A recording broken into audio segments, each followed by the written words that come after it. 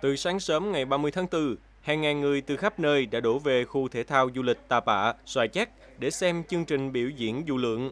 Ông Cao Quang Liêm, Chủ tịch Ủy ban nhân dân huyện Tri Tôn cho biết, chương trình biểu diễn du lượng có động cơ với chủ đề Bay trên Phụng Hoàng Sơn năm 2022 có sự tham gia của 99 phi công trên khắp cả nước, biểu diễn 3 loại hình, du lượng có động cơ, diều bay có động cơ và máy bay mô hình.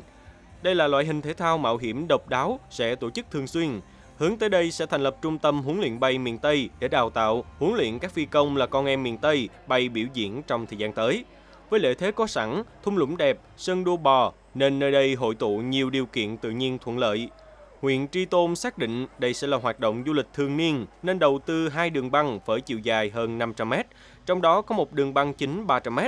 Ông Lâm Quang Quý, Phó Chủ tịch kiêm Tổng thư ký Liên đoàn Du lượng Thể thao Thành phố Hồ Chí Minh khẳng định, điểm bay ở huyện Tri Tôn có sức hút lớn và đặc sắc nhất so với các điểm bay khác mà đơn vị đã thực hiện bay, vì điểm bay này có đầy đủ về hạ tầng.